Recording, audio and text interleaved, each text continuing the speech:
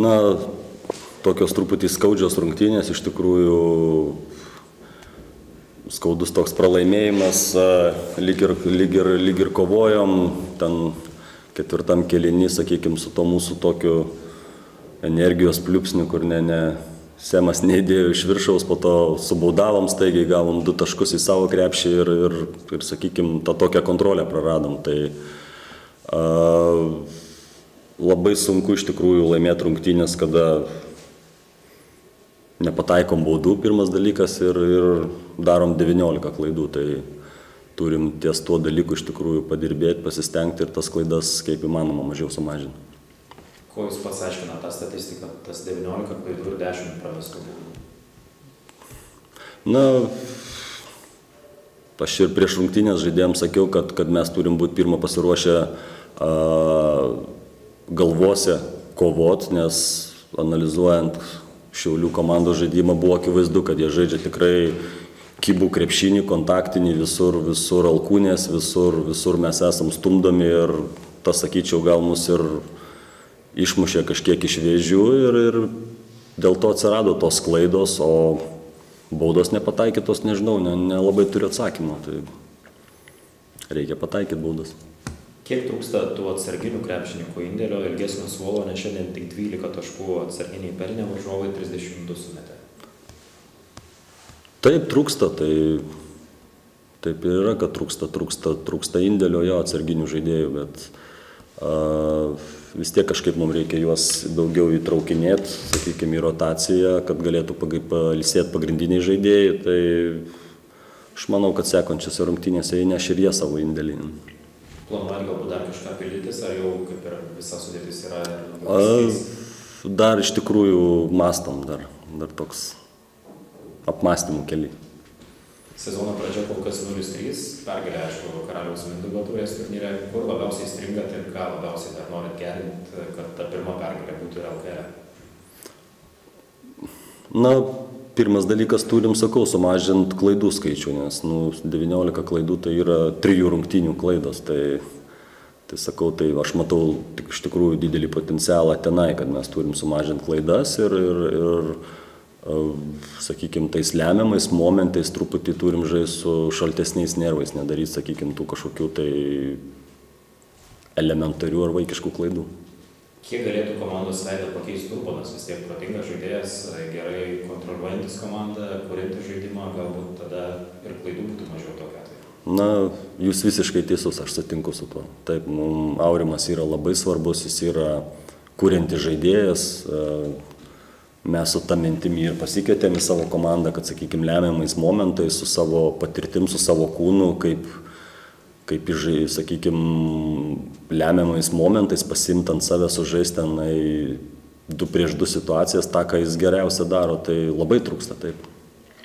Apskritai, kiek apmaudu dėl šitų rungtynių pabaigos, kiek pats jaučiat, kad tai buvo tos įmamos rungtynės, nes tikrai galėjo pakrypti ir vieną ir kitą pusę, ir kaip pats minėt, tas dėjimas, kuris nebuvo įdėtas, irgi buvo gan svarbus. Na taip, aš, aš ir vyram sakiau Rūbinėje iš tikrųjų, kad uh, neturim nukabinti nosių. Taip, skaudus tas pralaimėjimas, dar namų rungtynėse iš tikrųjų norisi ir žiūrovus nudžiuginti tą pirmą pergalę, bet aš manau, kad ateis laikas greit. Pirma pergalė, sunki ar nesunki, graži ar negraži, jinai yra pergalė ir tuo belieka džiaugtis. Kad daug darbo ir aš pats suprantu, žaidėjai suprantu. Taip kad labai daug neturiu čia komentarų. Kas kol kas trenerių labiausiai neramina, ką pirmiausia reikėtų gerinti? Supratimas vienas kito. Jeigu sakom, kad čia dabar svarbiausia žmogus šitas ar šitas turės, norės gauti kamuolį ir pasakom, kad ten reikės keistis, tai net nesupranta, kad čia, o, o, mano klaida ten. Man ne klaidas reikia skaičiuoti, man reikia suprasti, kad pavojingiausi žaidėjai, kurie nori gauti kamuolį, kad jie negautų. Tai čia yra supratimas ir tokiai laina iki subtilybė. Neleisti, atsistoti, pambinti. Labai daug e, kontakto būna su Sabeckiu, labai dažnai su juo bendraujat. Ką būtent jam sakot, ar kiekvieną ataką pasakot, kaip reikia daryti, kaip gintis? Jokių būdų, jokių būdų. Aš sakiau, kalbėsiu per treniruotės. Piešiu ant lentelės, ten tas, tas, čia gynyboje taip, taip darysim, ar ten kokia greito polimo metu, ką reikia žaisti. Viskas. Aš sakiau per varžybas, nenoriu iš vis kalbėti. Tai šiandien jisai gana taip gerai, sakysim, elgėsi. Nes jis sako, treneri, mes sutarėm taip, mes taip pakalbam su asistentu, gal geriau reikėtų ten dėliam sužaisti ar ten šitam. Mes jau sutarėm ten taip sužaisti. Viskas man labai tinka. Nes ką darai iš paprasčiausio derinio, iš paprasčiausio geras užsivedimas gėjo per nugarą, kol žaidėjas, atšokau čia, būsiu laisvas. Tai yra geriausias derinys, jeigu aš reaguoju, kaip daro varžovai. Taip, kad gali būti paprastas, daviau kamuolį, leidžiuosi žemyn. Nusileidau, už, kaip sakyti, užsėmiau padėti, duok man kamuolį. Tik mes ir padarėm, ir, ir ten užsėmęs kamuolį, didelį turim žmogų per lietai sugalvojam, kad reikia duoti kamuolį. Tai čia neturiu aš sakyti, nes kiekvieną kartą sakysiu, žiūrėk, laisvas buvo. Jie turi galvoti aikštelė. Martyną Varną atsimenam per karjerą kaip tokį žaidėją, kuris veržiasi ir krauna per galvas, bet jūsų komanda yra toks žaidėjas, kuris ir žaidžia 2 prieš 2 ir žaidžia daug su kamoliu. Kiek matot e, jį galinti tai daryti ir koks jo vaidmuo yra komandoje? Jis man įstrigo nuo praeito sezono pabaigos, kada žaidėm e, su Jonavos Jonava, su Jonavos Sibet ir, ir buvo traumuoti tai mūsų žaidėjai ir Sabeckis negalėjo, ir Elmoro nebuvo. Ir jie su Stankievičiu labai gražiai suvadovavo. Jie parodė, kad gali prasiveršti ir paduoti perdamį ir, ir įmesti iš toli. Man labai patiko. Gal kaip jiem užkraunė atsakomybę ir tam tuo pačiu Martynui, tai jisai nu, pradeda rodyti save, kai laukia iš kitų. Ai, tai nepadavė laiku, tai gal, galbūt taip yra čia.